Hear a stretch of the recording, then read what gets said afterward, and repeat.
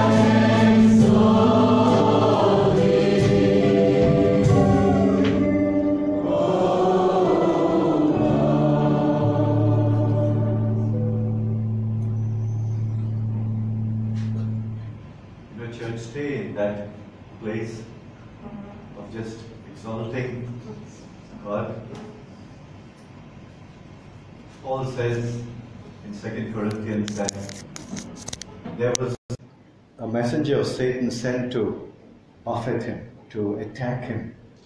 And three times he prayed to the Lord and said, Lord, would you remove it? And then he was told, My grace is sufficient for you, for power is perfected in weakness. My grace is sufficient for you, for power is perfected in weakness. Even in, as we exalt Him, we do that saying, God, you are all powerful. You're worthy of being exalted. And in that state, we often allow the things that are in us to remain and which we ought to do as we focus on Him.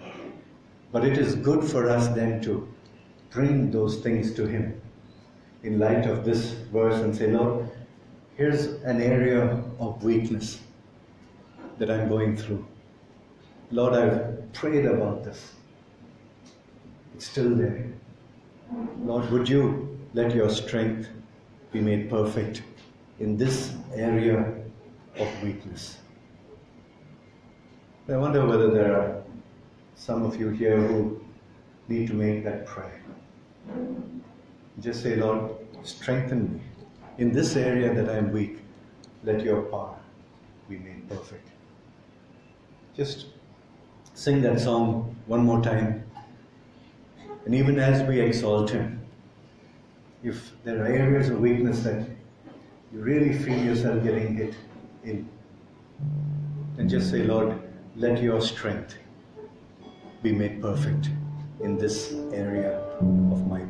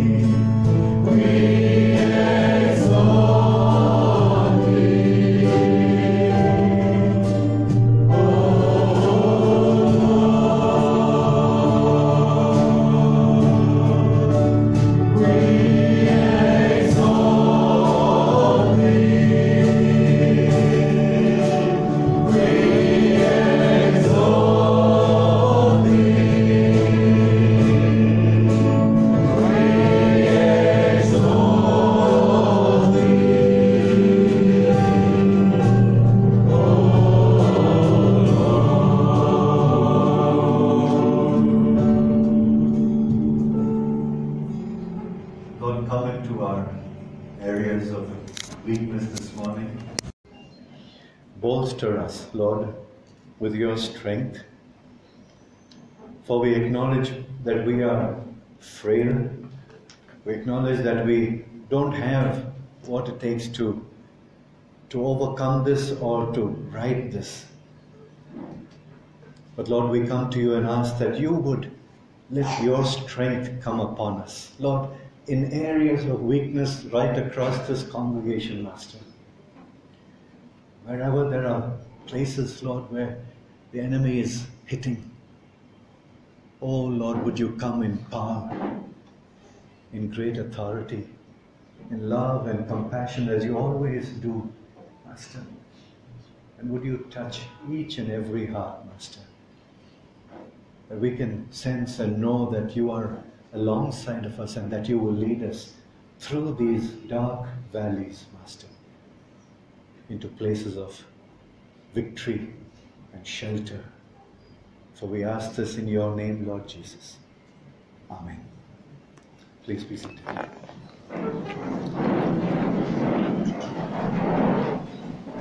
like to invite our ushers at this point if you would collect our tithes and offerings.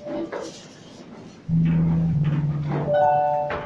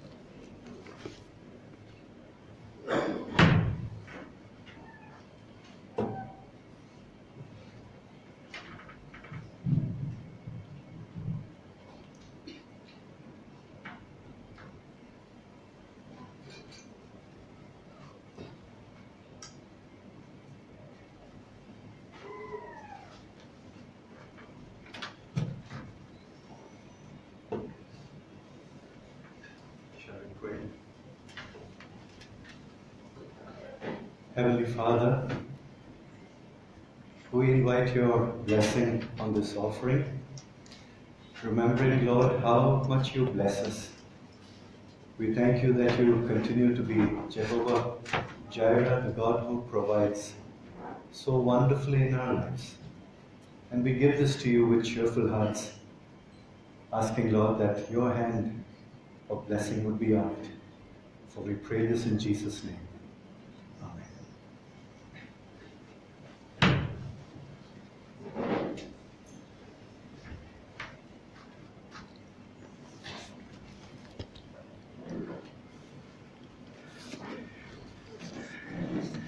Just a reminder of uh, our me- membership classes for those of you who have indicated that you want to take membership at the church at Powai. It will be on the 11th and 18th, that's next week, Sunday at 4 o'clock, and again on the 18th at 4 o'clock. If you have wanted to do it and haven't done it, today is the last date. Okay, so let me know by this evening, and we'll add you to that list. Also, for those of you who had wanted to go through baptism, uh, please let me know so that we can schedule the class as soon as we have the, uh, the number. So today is also open as well as next week.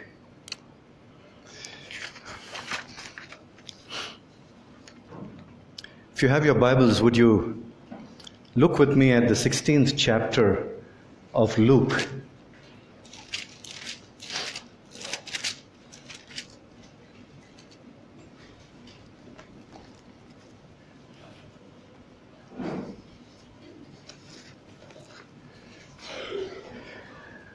I'd like to read the first 13 verses.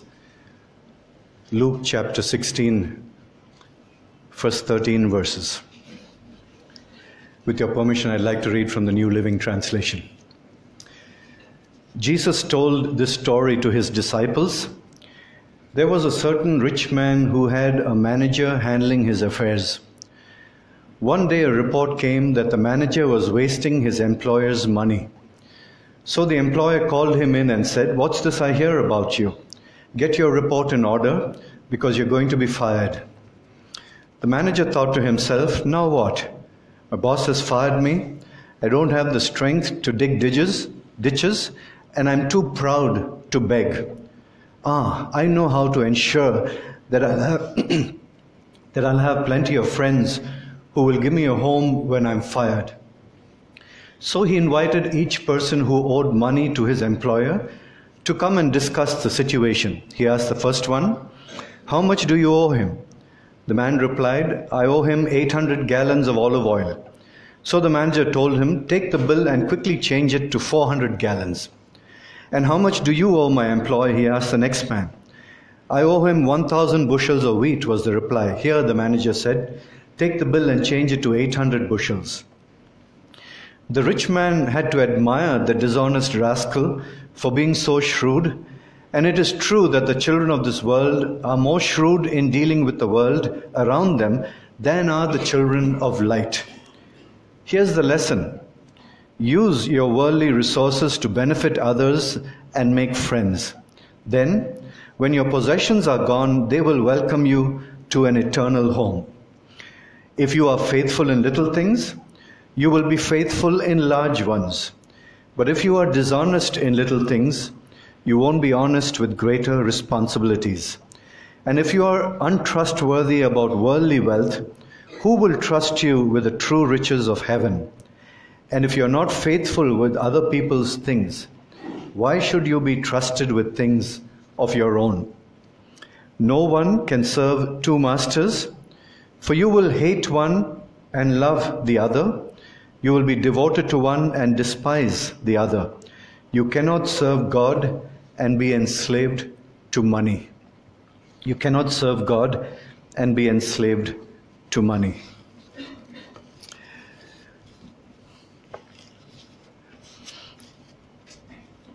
This is a interesting parable in in many ways. It doesn't fit the the role and the model that we normally have as we look at parables. First, we need to look at its context. It starts out with now he was also saying to the disciples, he was also saying to the disciples. And if we just back up one chapter, we will see that that entire chapter, the lost coin, the lost sheep, the prodigal son, were all aimed at the Pharisees. The Pharisees and the scribes began to grumble, saying, This man receives sinners and eats with them. So he told them this parable. That's in chapter 15. And then in 16, he turns and he begins to then include the disciples into something that he is teaching. But if we go right down to verse 14, it says, Now the Pharisees who were lovers of money were listening to all these things and were scoffing at him. So it seems as if Jesus is trying to send out two parallel messages one that would deal with the Pharisees and their love for money, and the other to see how he could take this and yet build kingdom principles that would help the disciples in their growth. And so that's one aspect of it. The second is most parables have their, uh, the chief actor or the chief person as God or a righteous person or some, someone good. This one doesn't. As William Barclay says, and I quote, it's a story about as choice a set of rascals as one would meet anywhere. Kind of harsh words, isn't it? As much a bunch of rascals as you would meet anywhere. He's talking about a wicked steward or a wicked manager. He's talking about wicked people who owe money because they're willing to settle it all, pay only half. And then on top of that, a manager who was taken up with the way his dishonest steward was acting and thought that was a great thing. And so it just seems to be like, where's the good in all of this? How do we navigate through this and find some principle for us? But Jesus, as he always does, clearly lets us know when he is moving from the parable to this point of what lessons we can learn from it. But first, the parable. A rich man finds out that his manager is stealing money from him, embezzling. So he calls him and says, I'm going to fire you, get the books in order so that that can be done. So the man goes and he thinks about this and he says, My goodness, now what am I to do? I'm uh, too old to, don't have the strength to dig ditches and be a common worker or a laborer, and I'm too proud to beg. One moment of honesty from him, isn't it?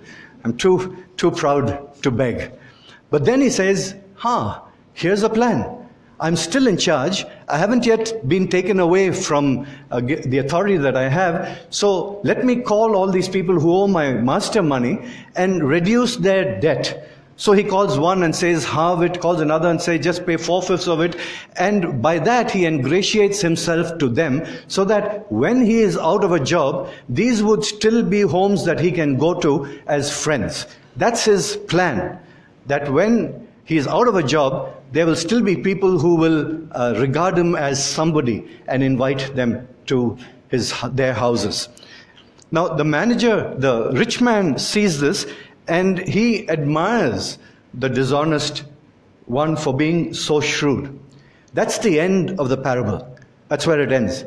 Then Jesus adds a couple of things that leads us into application. He starts by saying this It is true that the children of this world are more shrewd in dealing with the world around them than are the children of the light. It is true, he says, that the children of this world are more shrewd, are wiser in dealing with the world around them than are the children of the light. So basically saying that the people who kind of imbibe these values, who have this kind of a mindset, a worldly mindset, with the wealth that they have, they are smarter than the people of light. That they are able to kind of move very well within their context and do well. So, what you would ask? Jesus goes on then to say, here's the lesson. The first is a fact. He's saying that they are smarter. Then he says, here's the lesson. Use your worldly resources to benefit others and make friends. Now that's exactly what the steward also did. He was using what he had to make friends. But then comes the shift. Then, when your possessions are gone, they will welcome you to an eternal home. They will welcome you to an eternal home. There's the shift. Jesus saying, do exactly what they are doing in terms of using what you have to build up friendships. But not so that they will call you home, but so that you will bring a change and change their abode from a temporary one and a worldly one to an eternal one. That's how you need to use your worldly goods. He says, use it so that it creates eternal homes for people around you. This past week or 10 days, we've been saddened, isn't it, uh, to hear about the death of uh, Dr. Billy Graham. And there are many, many tweets that are going on, many stories that are surfacing, and that just shows what a remarkable life he lived. But there's one cartoon, I think it was, that has made its way around, and you may have seen it. It's a, a shot of Billy Graham uh, standing in front of St. Peter uh, there, and uh, St. Peter then says, Go right in, they're all waiting for you. And then behind is this picture of thousands and thousands of people standing on either sides of a center aisle waiting to welcome him home because they were there because of him. And it makes such a beautiful point, isn't it? He invested everything that he had into making sure that his friends, the people around him, had an eternal home rather than a temporal home. I don't know how many of you have seen this book, Crusades. Uh, if you haven't, pick it up. It just tells you all the things that he did in the early days uh, when the Evangelistic Association was starting up. But in it, there's a point where the people around him come to him and say, You know, we need to have a radio station. We need to have a radio station that can do a little more than the crusades are doing. We leave people, they go away at the end of a crusade, and there's no way of continuing to feed them. And this was before Decision magazine came. And so Billy Graham is not convinced, but he says, We'll pray about it. He says, I don't know how we need to do it. We, need about $25,000 to start it, but I'm not convinced. And so he says, Let's pray about it. And I want you to hear this prayer. At length, Billy said, Boys, let's pray. He knelt by a chair. Walter and Fred lowered themselves to the bedside, and Billy really poured out his heart to God. They had never heard a prayer of such childlike directness. As at Los Angeles, when uncertain whether to extend the campaign, Billy again sought a sign of God's will by putting out a Gideon's fleece. But Walter and Fred were astonished when they heard what it was. Then he prayed, Lord, you know I'm doing all that I can. You know I don't have any money, but I believe we ought to do this. You know, Lord, I have a mortgage on that little house in Montreat. Lord, I'll put another mortgage on. I'll take the little I have and put another mortgage on. He's willing to take his earthly riches, all that he had, and use it for eternal dwelling. And that's what Jesus is alluding to. He says, Be smart with the things that you have. We live in the world. And if we live according to God's principles, wealth, money will accrue. They will come in Uh, whatever way they need to come to you in whichever job you are. But what you do with that is important. Not to make sure that you are popular in this world, but to make sure that your investment goes towards providing eternal dwelling for those who are in this world. I, I want to just digress and finish this because it just brings such an important point home. He went on to say, Lord, we need the 25,000. And he said, Lord, if we get it by 12 midnight today, we'll go with it. We'll go with the plan to have the radio station. And the people who were around him were happy because there were about 20,000 people in that audience that night. And they thought 25,000 won't be a problem. But when the time for offering came, Billy Graham didn't move from his seat. He just let the offering be taken. And all his advisors are thinking, what, are- what's happening? If he doesn't mention it, we're not going to get the money. The whole offering was taken, the sermon was preached, and then Billy Graham got up and he shared with the people and said, This is something that we are wrestling with. And this is something that we need. We need $25,000 to start this uh, radio station.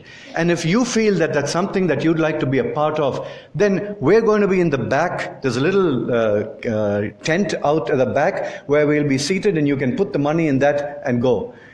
All his friends' hearts sang. They thought, we're not going to get anything after the crusade is over. Everybody just wants to go home. And yet, one of them stood with a shoebox just in the front of the tent, and people just streamed by, streamed by, streamed by, putting money and pledges into it. At the end of it, they counted it. It was $23,500. And his team was ecstatic. They said, We've got it. Billy Graham said, No, we haven't. He said, We said 25,000. And they said, Billy, it's just a thousand and a thousand five hundred. It'll come. And he said, No, we said 25,000. And they all went back to the hotel. Billy Graham went to his room, and one of his um, mates went down to check for mail and see what messages there were. And there were three en- envelopes there. When he opened it, one had a thousand dollar pledge, and the other two had two hundred fifty dollar pledges. One thousand five hundred that made up the twenty-five thousand that they needed. The reason I digress and tell you that story is this when you are trusting God for something, don't settle for less than what you were expecting because the evil one can give you that less. He can give you just a little less, and you think that that is what you should go forward with. Don't do that. Wait till it is clear that this is what God wants you to do. I don't have a much money, he said. But I have a home that's already mortgaged, but I'll take a second mortgage and make sure that there is eternal significance to the wealth that I have. I was privileged to do my doctoral program, and I did my doctoral program completely covered by a scholarship. I didn't have to pay anything, including the visa, the travel, books, computer, everything was given. And it came to me because of one man called Ralph Waldo Beeson. He had made a lot of money. And when he died, he left $39 million to the seminary with strict instructions that it was to be used to find pastors in the United States and pastors around the world, bring them to Asbury, train them, and then send them out with no cost to them. Worldly wealth, but kingdom significance, eternal significance. And that's the shift that Jesus is making. Be wise. Here's something that you can follow. Be wise about it, but make sure that it's not something temporal, it's something that is eternal. Secondly, the second point is he says in verse 10 if you're faithful in little things, you'll be faithful in large ones. If you're dishonest in little things, you won't be honest with greater responsibilities. And if you're untrustworthy about worldly wealth, who will trust you with the true riches of heaven? And if you're not faithful with other people's things, why should you be trusted with things of your own? Honesty, trustworthiness, and faithfulness, he says, are important attributes. You've got to be honest. I remember reading about a pastor who, who uh, was uh, telling his congregation how every week a lady would come to him and hand him uh, pencils and erasers and uh, little, little things, stationery stuff. And uh, so he, he never needed to get any for himself. And uh, one day he told her, he said, listen, I, I have plenty, stop, you know, getting me all these things. And she said, oh, no problem. She said, I work as administrator in my office, and all of these things are in my office, and I just bring them and give them to you. You have to be honest with the smallest of things. The things that are available in your office which don't belong to you don't belong to you. That's what Jesus is saying. Make sure that even the smallest things you're honest with. If you are untrustworthy about worldly wealth, who will trust, trust you with the true riches of heaven? God watches and sees how we are as we handle the things that He has given us. And if we are handling it well, then He will give us more to handle when we are in heaven. Thirdly, He says, how you handle the things that don't belong to you will determine how you handle the things that will belong to you. What is He talking about? The money that you and I have don't belong to us. We give 10% to God. The other 90%, God expects us to be good stewards. It doesn't belong to us, it's His. He has given that money to us to be stewards of that money. And it's important that we handle the things that don't belong to us well. Because when we go to heaven, we will then be given things that are ours. They belong to us because of the life that we lived here on earth. Remember what I told you last week about moving from being believers to being disciples. God looks at the way we live our lives post regeneration post the time that we come to know Him. And depending on the life that we live, will be the rewards we get in heaven. And He says, those things will belong to you. If you are able to treat the things that don't belong to you, which is the worldly wealth that you have, well. So, three things. He says, be honest, be trustworthy, and be faithful with little things, the wealth of the world, and with things that don't belong to you. And then finally, he says in verse 13, No one can serve two masters, for you will hate one and love the other. You will be devoted to one and despise the other. You cannot serve God and be enslaved to money. You have to have only one person that you commit yourself to. You cannot be drawn to two people. It cannot be money and God. It's not a both and situation. Here, it's an either or situation. I, I want to say Chuck Colson, and I know it's not Chuck Colson. Who was the other Chuck? Charles Swindoll. Thank you. Charles Swindoll once had the uh, opportunity to speak to a group of people. And he asked them to enumerate from 1 to 10 priorities in their lives. And they took the paper and they wrote 1, God, 2, family, 3, community, 4, vocation, 5, 6, 7. They went down that list. And all of them had it like that. Number one was God. And he took that and he looked at it and he said, This is wrong. You may have got the one right. Number one is God. But number two has to be God in family. Number three has to be God in work. Number four has to be God in community. He said God is never at the exclusion of anything that you and I do. God has to be integral to everything that we do. You cannot serve God and mammon or money. You have to be completely devoted to Him. And that's the final point that Jesus is bringing. Where is your allegiance? For all the rest to come to play, he says you have to start with this point that God is number one in your life. Everything else must be refracted through his prism. Only then will it fit in with kingdom purposes. And so, as we look at this parable, the dishonest manager we see how Jesus has taken it and taught us three important lessons.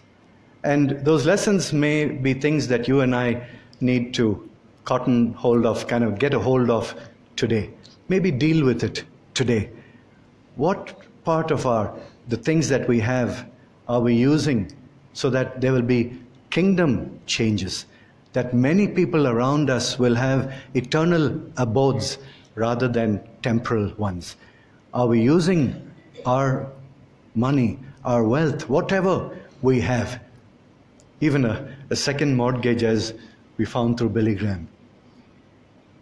Are we using it for kingdom purposes? The second is how are we like in terms of little things, responsibilities those kind of things, do we lift up the Lord with those practices of honesty, trustworthiness, and faithfulness? And then finally, could it be that somehow something else has usurped that first place that God must have in our lives? Is it possible that somehow in the course of whatever situations and circumstances we face in the world that the job has taken priority or money has taken priority or relationship has taken priority.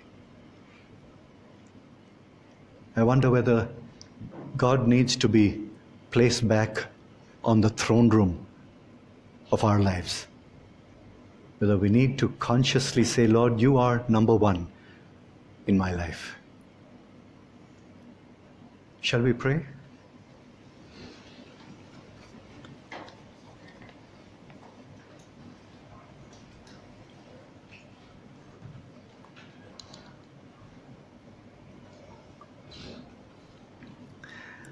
Master, speak to us, Lord, in the quietness of these moments.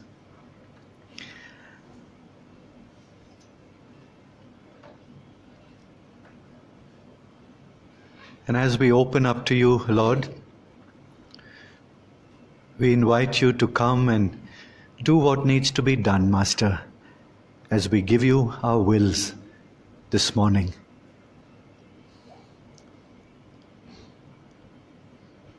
Lord, if there are ways in which we have got mixed up with the things of the world, highlight those things, Lord, and just bring the power of your Spirit to us so that we can quickly realign. Lord, if we've not really bothered about people around us, and the good things that you have blessed us with, Lord, have been used for ourselves, would you bring about a paradigm shift, Lord? That we would begin to use those things that you have given us so that many will be part of eternal life. Or maybe, Lord, this morning you need to reclaim the number one spot. And as hearts yield to you, Lord, would you quickly take that position? Speak, Lord. Holy Spirit, do your thing. Do what you do best, Lord, in bringing us close to, to, the, to Jesus and the Father's will.